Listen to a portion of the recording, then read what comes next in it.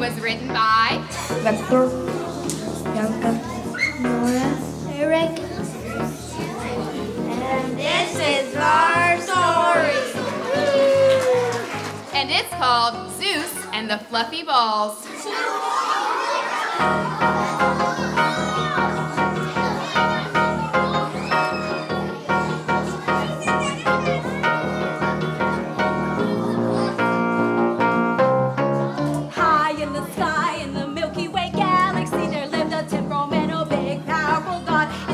Zeus, and he owned a three-headed dog named Charlie. And we know that sounds kind of odd. Zeus was starving. I'm starving! He was starving. I'm starving! Zeus craved something fluffy and fuzzy to eat. He went to his freezer to get a treat. It was empty. It's empty! It was empty. It's empty! His three-headed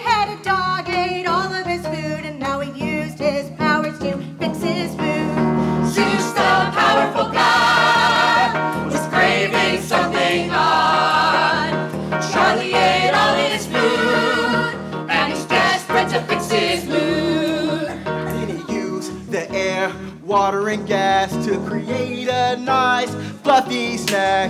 He used the air, water, and gas to create a nice fluffy snack. He took a bite. I took a bite! He took a bite. I took a bite! He got his face and beard all soaking wet. He just knew those fluffy balls and Had to get, he had to eat those fluffy balls. Yeet, yeet, yeet. Him after all. Yeet, yeet, yeet! to eat those fluffy balls. Yeet, yeet, yeet! Yeet, yeet,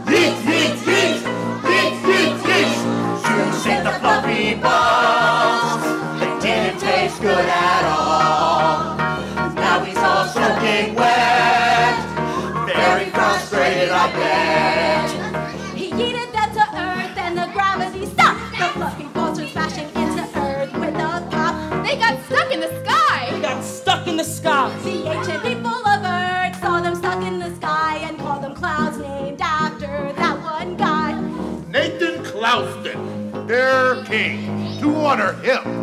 And the clouds have floated in the sky ever since. Zeus and the fluffy balls.